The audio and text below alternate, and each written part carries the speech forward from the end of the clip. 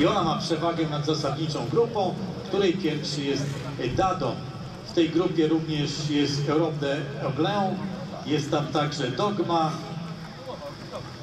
czyli faworyci stawka się rozciągnęła, a do celownika mają jeszcze dokładnie 1600 metrów. No ucieka i bardzo daleko uciekła Bonna Castellet. Ma przewagę tam dobrych kilkunastu metrów. Na drugiej pozycji na razie tam jest Dostatok.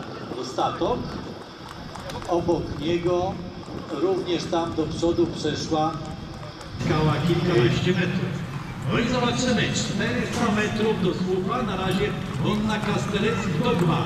Próbuje się do niej zbliżyć, dobrze finiszuje, ale tam ma przewagę, do słupa jeszcze 300 metrów. Bonna Castellet bardzo spokojnie, tutaj widzę, jedzie Łukasz Kuryś, 250 metrów do słupa. Zbliża się do niej dogma, ale czy ją zaatakuje? Jeszcze do celownika 150 metrów, Bonna Castellet ma przewagę, utrzymuje. Jak? Dobry? Podjadę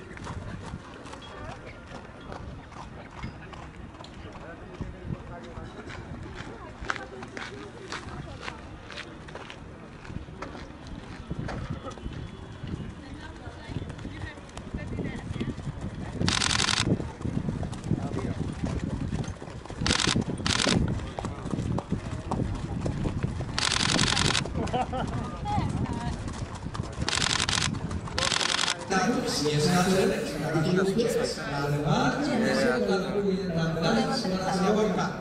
Do celownika zostały jeszcze 450 metrów, Licinatus nadal na czele. Licinatus ma przewagę, Licinatus, ale, ale do czego dalej galopuje Rais i Rais jest na drugiej pozycji, na drugiej pozycji, celownika, Licinatus na czele, na drugiej pozycji Rais, na razie nie ma